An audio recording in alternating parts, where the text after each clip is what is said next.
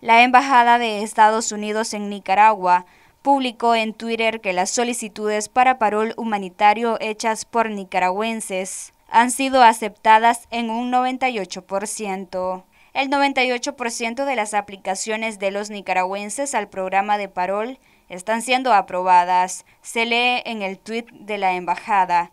Esto pese a que muchos nicaragüenses expresan que se les está dificultando acceder a este programa debido a que se necesita un patrocinador para poder ser aceptados. Cabe resaltar que el parol humanitario para nicaragüenses fue dado a conocer por el gobierno de Estados Unidos Joe Biden a inicio de enero del 2023 y es una de las medidas tomadas con el objetivo de que se reduzca la migración irregular, no solo de nicaragüenses, sino también de cubanos y haitianos. El parol humanitario es un mecanismo que permite que las personas de esos países apliquen para poder ingresar de forma legal y por vía aérea a Estados Unidos.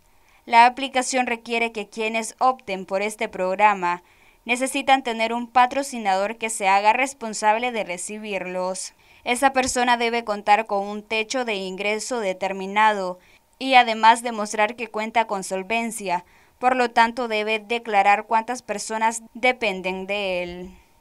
De ser aprobada la solicitud, los beneficiarios podrán obtener un permiso de trabajo y de permanencia en Estados Unidos.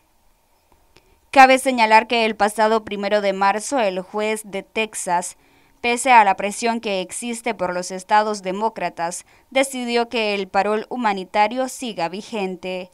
Los 20 estados republicanos piden que se detenga el parol humanitario porque lo consideran un programa de visas sin las formalidades de legislación que deben ser aprobadas por el Congreso.